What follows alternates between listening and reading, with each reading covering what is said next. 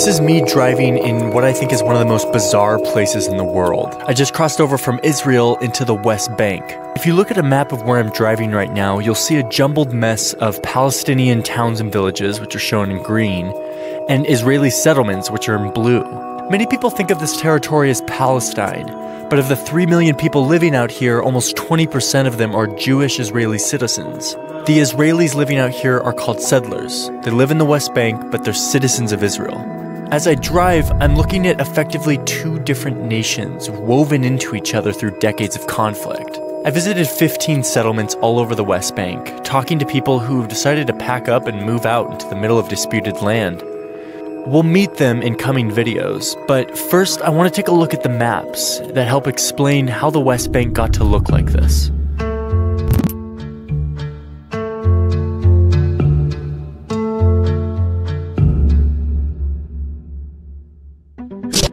So let's go back to 1948 when the map looked a lot different. Back then, all this land was controlled by Great Britain.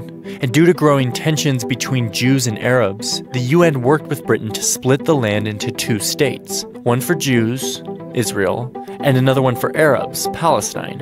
The Jews in the region accepted this plan and declared independence as the State of Israel. But the Arab states in the region saw this plan as just more European colonialism. They didn't accept the plan and instead declared war on Israel. Israel won the war, pushing well past the borders of the UN plan. During the peace negotiations, a ceasefire line was drawn in green ink. It became known as the Green Line. It wasn't necessarily a border, it was just a ceasefire line, with this being the State of Israel and this section being controlled by Jordan, who had taken control of it during the war.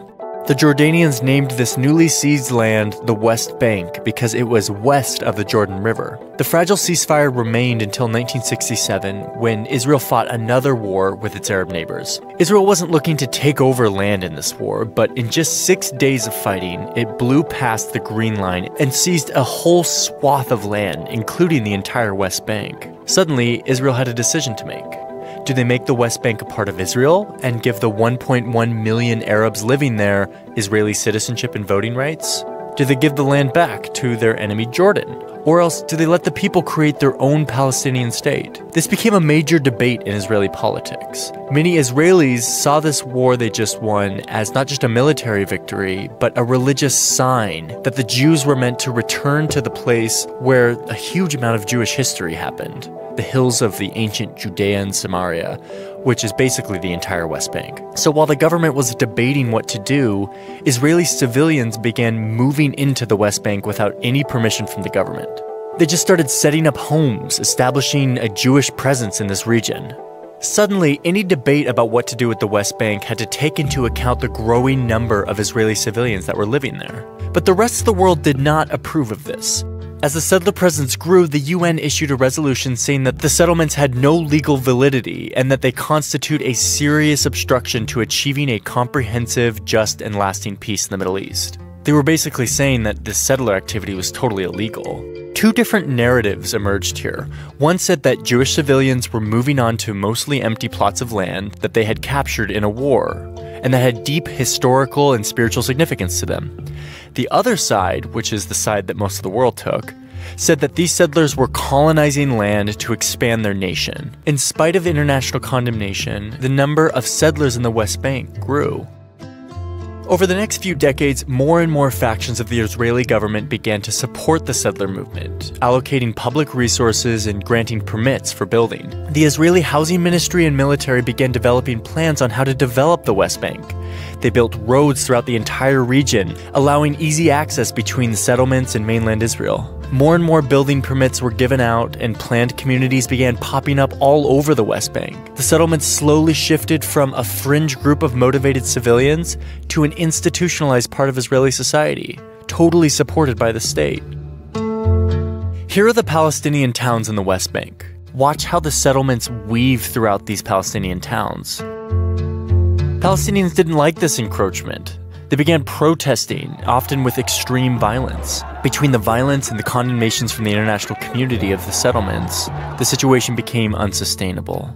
So, in the mid 1990s, American President Bill Clinton, Israeli Prime Minister Yitzhak Rabin, and Palestinian leader Yasser Arafat signed the Oslo Accords, agreements that established a Palestinian government and split the West Bank into three sections. Area A gave Palestinians total control over security and government. This makes up about 18% of the West Bank, but most of the Palestinian population centers are here. This was a big deal because it gave Palestinians self rule for the first time.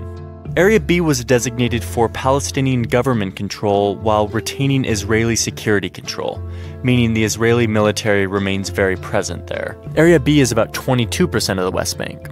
Area C remained completely under the Israeli military and government control. This is where all the settlements are in Area C, it's about 60% of the West Bank. So, this is basically how we ended up with this mess of a map. Israelis can come and go from mainland Israel through really nice roads that go straight to the settlements. They call these roads flyovers because they bypass Palestinian villages and give easy access from one settlement to the other. But not every settlement has one of these flyover roads. Palestinians can drive on almost all the roads in the West Bank, but their movement is often more difficult, more restricted. They have to stop at checkpoints and get their car inspected sometimes. Sometimes it makes for some really long lines. But certainly one of the most difficult aspects of this carved up land situation is how it hinders Palestinians from being able to build an economy. Area C, which is under Israeli control, contains the majority of the West Bank's agricultural land, as well as the water and mineral resources. Palestinian companies are severely restricted in accessing these resources, which takes a huge hit on their economy. So, with these three sections agreed upon by both sides, the settlements continued to grow in Area C, but in 2005, something happened that would ignite even more passion for the settler movement in Israel. Prime Minister Ariel Sharon decided to remove 8,500 settlers from the Gaza Strip, which was another disputed area where there was a lot of settlements. Seeing Israelis forcibly evicted, their homes demolished, left a huge mark on the country, especially the settlers. They immediately redoubled their effort to settle the West Bank, and the numbers continued to grow. Most people who think about a resolution to this conflict propose a two state solution, meaning giving the Palestinians a state somewhere in this West Bank region. But if you look at this map, you can start to see that it's getting harder and harder to do that. The settlers living in the West Bank are not living in tents or caravans. They're living in developed communities with schools and hospitals and even a university. It's not going to be that easy to uproot these communities. In the next video, I'll go inside the settlements and talk to the people who are living there. Jewish people have come home. That's, that's not going to change. Who are these nutcases who are moving out of their own will into this battle zone? They fail to realize the lifestyle that we actually have here. I don't consider myself a settler, maybe, but I know other people do just because I cross a certain line and I go through a certain post.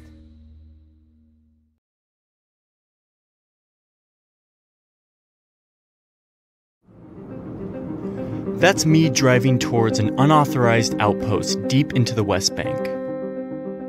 And when I got to the outpost, I expected the family I was meeting with to hit me with an earful of ideology and a sermon on why the Jews deserve to live in this land more than the Palestinians do.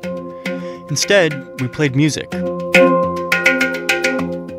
We ate food from their land and we talked more about the perks of living in the desert. Close to Jerusalem, the best view, the best weather, uh-huh. close to my parents.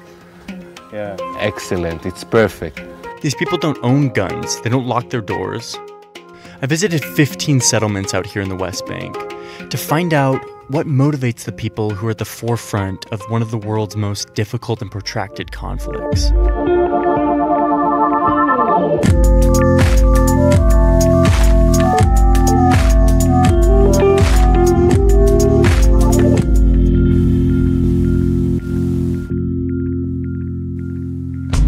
West Bank is home to 2.2 million Arabs and seen by the international community as the part of a future Palestinian state. But there are also more than 400,000 Israeli settlers living out here, which is about 5% of Israel's population. You can learn all about how they got here in the first part of this series.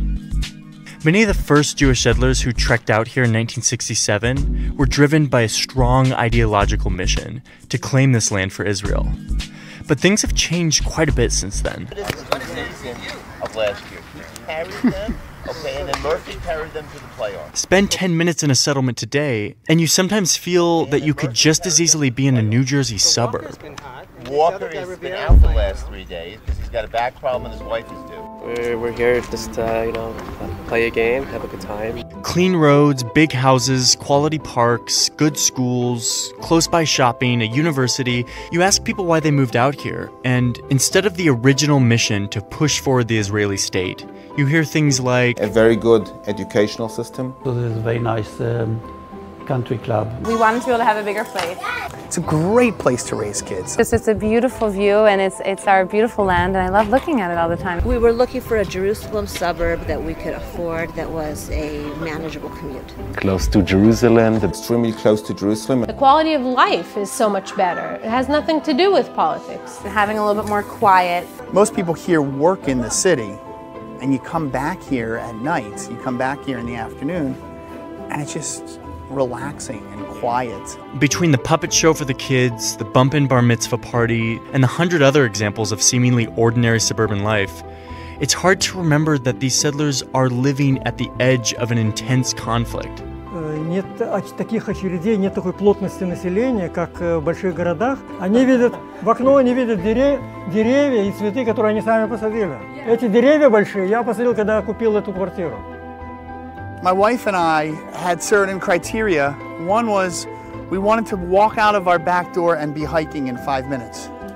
Now, of course, there's still ideology here. Many residents of these communities feel connected to the settlers' original mission to resettle the hills of the ancient Judean Samaria from the Bible, which they call The cradle of our entire civilization. you know? But ideological motivations for living out here are usually four or five items down the priority list, with quality of life reasons being the main drivers. To tell you if my ideological reasons was the major motivation to move over, I won't lie, and that wasn't one of the major uh, things. I wasn't trying to make a statement.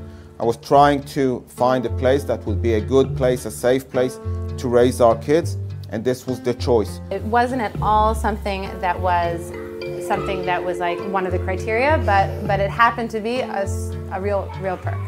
Of course, the hardcore back to the earth settlers still exist. Here I am with a guy who doesn't want his name or face in my video. He lives in another outpost, illegal even to the Israeli government. There's no baseball league or bagel shops in this community. God promised to us that this uh, this is our land and we can we can uh, grow here uh, if we listen to him. This renegade culture of taking over hilltops once characterized the settlement movement. But now, the zealous ideology that started the movement has been diluted by more practical factors like house prices and quality of schools. This real estate ad for a settlement community, I think, perfectly captures the blend of quality of life motivations with a hint of ideological fervor sprinkled in. If you've always felt a deep yearning for Jerusalem, now is a once in a lifetime opportunity not only to stand within its gates, but also to build the home of your dreams there. The tranquility of a picturesque setting and crisp mountain air, with all the benefits and amenities that Jerusalem has to offer.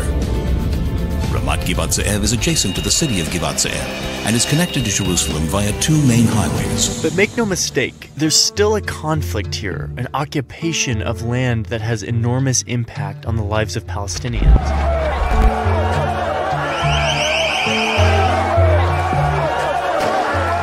Just it sounds paradoxical, but this just seems like the safest place in the world. One of the reasons why life in many settlements is so peaceful and pleasant is that the government invests proportionally more public money into the settlement communities than it does in mainland Israeli communities. Schools in the settlements receive better funding than mainland Israeli schools in the form of better salaries for teachers and other educational benefits for the kids. Nearly one third of all subsidized housing in Israel is in the settlements, even though only 5% of Israelis live there. And in the past, the government even ran a mortgage subsidy program that made living out here much cheaper than mainland Israel. And things like public transportation are cheaper for settlers than mainland Israelis. An Israeli think tank found that the government spends about $950 on each West Bank resident. That's more than double what it spends on people living in Tel Aviv or Jerusalem. The settlement enterprise has become a fixture of Israeli institutions in society, which helps explain why you don't need to be an ideological activist if you want to live out there. I can't hide the quality of life that people are enjoying here, okay? I can't hide the fact that people are moving from the United States from very luxurious big homes and they choose to live in Efrat.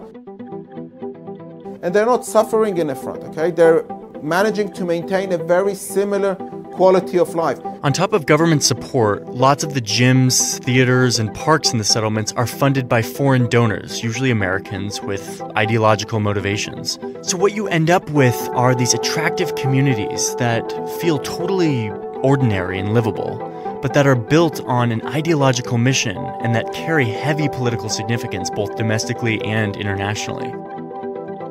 Even these unauthorized outposts that are illegal under Israeli law enjoy a good amount of support from the government.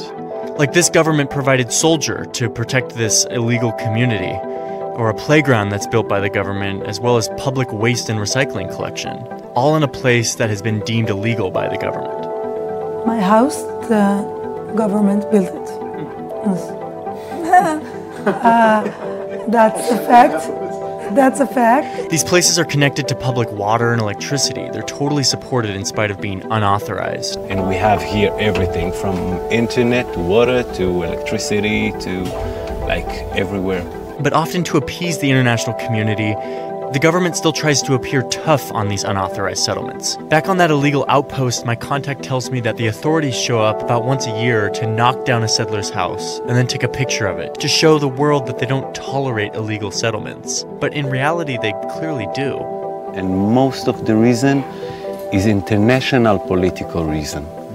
Um, international forces, international uh, political stupid reasons. Since 1967, there's been wide government support from both right and left wing parties in Israeli politics, which both have separate reasons for supporting the settlers. And while this support is not the only or even the main reason why settlements are growing, it has surely helped turn the settler experience into a mainstream, livable, and often enjoyable situation.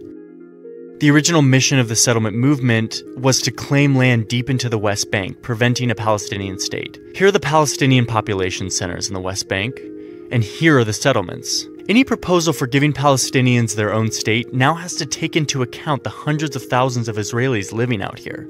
No one seriously considers it possible to remove all 400,000 residents.